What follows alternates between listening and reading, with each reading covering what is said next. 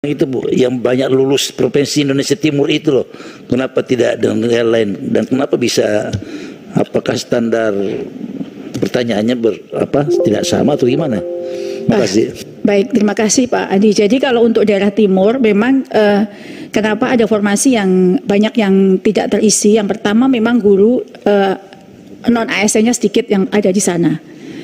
Sehingga ketika kita buka untuk eh, P1 sudah terakomodir, P2, P3 sedikit. Sehingga kita buka untuk pelamar umum. Pelamar umum itu dites melalui tes dan kami memberikan eh, afirmasi 100% bagi mereka yang punya sertifikat pendidik dan ketika mereka uh, masuk melalui jalur ujian itulah memang uh, tidak terisi. Tapi pada prinsipnya memang karena tidak tersedia guru di sana dan sistem kita tidak memungkinkan untuk memindah daerah dari provinsi lain yang kelebihan guru ke provinsi yang daerahnya kekurangan guru. Jadi memang dibatasi ruang lingkupnya satu provinsi sehingga tidak ada jika dimungkinkan untuk pindah dan mengundang kesediaan bagi guru-guru itu untuk mengisi daerah lain itu masih dimungkinkan karena memang di provinsi lain kelebihan di sana kekurangan. Begitu Pak Adi, terima kasih. Terima kasih Pak. Ya, terima kasih uh, Bu Nunu. Uh, jadi Pak, mungkin untuk beberapa menekankan beberapa poin kalau ujung-ujungnya semua rekrutmen guru itu dilakukan secara lokal, ya kita bakal muter-muter aja di sini terus, Pak. Kita mencarinya di lokal, tapi tidak ada guru yang uh, sesuai dengan kualifikasi di situ, tapi tidak bisa mengimpor dari provinsi-provinsi lainnya, dan akan terus aja siklus ini, terus uh, siklus literasi semakin merendah dan lain-lain. Dengan adanya implementasi tahun 2024 ini sistem baru, sekarang talenta guru itu otomatis nasional. Jadi nasional, semua demand dan supply itu terjadi secara nasional. Udah nggak ada lagi uh, sekat-sekat. Ini hanya talenta.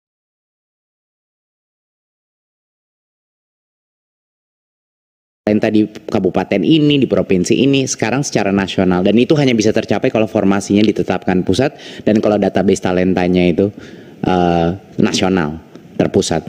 Nah ini jadi uh, terima kasih untuk banyak masukannya mengenai um, uh, nama atau istilah. Mungkin Ta, mungkin kita mengerucut kepada ta, database talenta guru ya. Mungkin itu menjadi nama yang lebih tepat. Terima kasih untuk masukannya. Dan uh, tadi uh, mungkin satu poin terakhir saya adalah banyak yang merasa ini seolah-olah ada rencana baru dari yang rencana lama tapi selesaikan dulu dong yang masa-masa lama.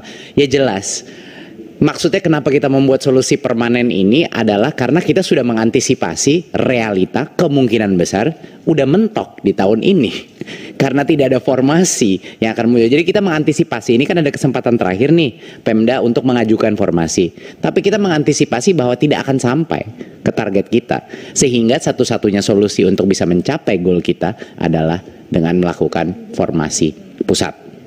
Begitu Bapak Ibu. Jadinya ini bukan masalah menciptakan ini baru tapi untuk mencapai ini saja yang masalah yang udah ada tidak mungkin tercapai. Tahun ini pasti mungkin kita salah. Alhamdulillah kalau kami salah. Dan ternyata formasi lengkap dari Pemda ya kan? Mungkin ada terjadi tapi kemungkinan besar tidak. Jadi itulah yang kita antisipasi dengan solusi permanen gitu. Tapi Uh, pasti akan ada resiko uh, mentok di situ berdasarkan formasi. Tidak mungkin akan bisa diselesaikan. Menurut saya itu yang bisa saya uh, jawab uh, dari beberapa masukan saya juga sudah menanya dari kementerian lain kayaknya cukup sekian. Jadi kami uh, persilahkan kembali ke Pak Ketua. Terima kasih. Uh, terima kasih Mas Menteri. Saya sedikit saja. Ini menyangkut soal tadi kan katanya akan mentok di tahun ini.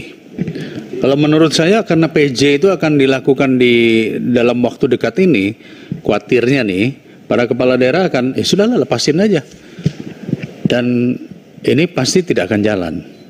Dari Kemendagri ini penting sekali untuk kira-kira apakah nanti ada tas yang diberikan kepada PJ untuk menyelesaikan ini. Supaya tidak selesai, maaf kepala daerah mengatakan saya sudah mau selesai ini, gak usah diterusin. Bisa nggak Pak Mendagri memberi, uh, maaf dari Kemendagri menjelaskan ini? Uh, Kang Dede, Kang Dede Ledia. Uh, terkait dengan PJ ini di dapil saya tahun kemarin udah mulai jadi ada PJ udah dari tahun kemarin. Hmm. Kemudian ada yang PLT, habis PLT nanti mau dijadiin PJ kan. Karena ini kan kondisinya akan jadi be- beda ya, jadi berubah. Sementara orang yang ditempatkan di situ belum tentu orang situ kan gitu. Belum tentu dia memahami persoalan-persoalan yang sebenarnya jadi masalah penting di eh, di lapangan. Eh, rasa-rasanya memang perlu penjelasan dari Kementerian Dalam Negeri. Terima kasih. Iya, makanya silakan mungkin dari Kemendagri terkait hal ini karena kurang lebih ya, kurang lebih yang saya tangkap ya. Kalau dari provinsi itu sudah pasti diganti oleh orang Kemendagri atau eselon 1. Kalau dari kabupaten kota dari provinsi biasanya. Tapi kalau nggak ada tugas pasti lepas tangan. Silakan dari Kemendagri. Uh, terima kasih Bapak Pimpinan. Uh, jadi prinsipnya penunjukan PJ ini uh, adalah untuk memastikan bahwa penyelenggaraan pemerintahan itu tetap berjalan. Sehingga untuk kegiatan-kegiatan termasuk penyelenggaraan pemerintahan yang di dalamnya terkait dengan uh, pengangkatan dan sebagainya itu juga dimungkinkan. Ada beberapa mutasi uh, pemberhentian, pengangkatan dan sebagainya yang diberikan kepada PJ dengan uh, izin tertentu. Sudah ada mekanismenya. Jadi prinsip tidak ada masalah untuk uh, PJ. Demikian Bapak Pimpinan. Jadi kurang lebih yang kita kita tangkap bahwa tidak ada masalah kalau tugas ini diteruskan oleh PJ gitu ya. Betul ya Pak ya? Pak Dede boleh klarifikasi melalui Pak Dede untuk Kemendagri. Di tempat kami PJ itu minta persetujuan ke Kemendagri. Tadi ada kata-kata izin tertentu. Nah izin tertentunya itu yang jadi masalah. Itu yang harus dijelaskan. Nanti kalau terjadi formasi gitu, jadi saudara menteri perlu saya ingatkan juga.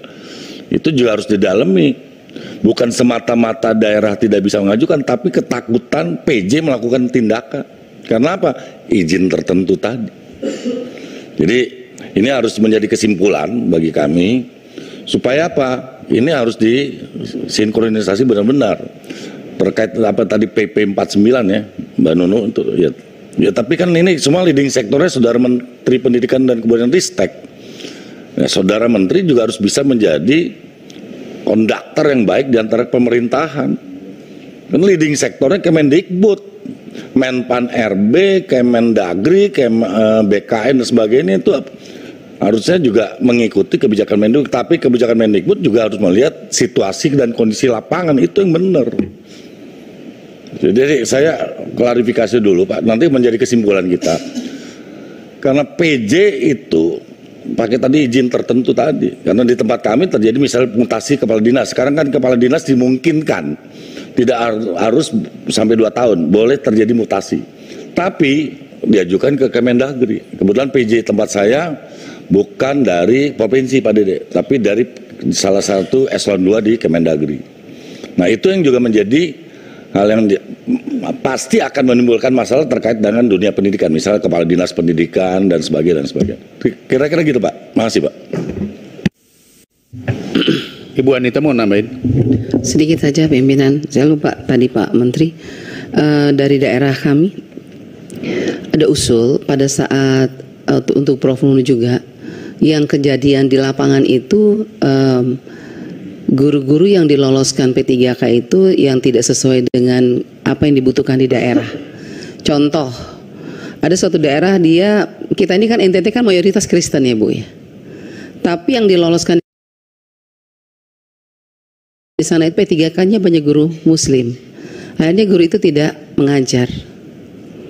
Nah, saya juga uh, dapat titipan pesan dari para bupati dan wali kota. Kalau pada saat formasi itu diberikan juga tolong dilihat sesuai dengan kebutuhan, kebutuhan kebutuhan daerah kita. Dan juga uh, banyak anak-anak, uh, banyak guru-guru honorer kita juga yang sudah lolos tapi tidak mendapat penempatan.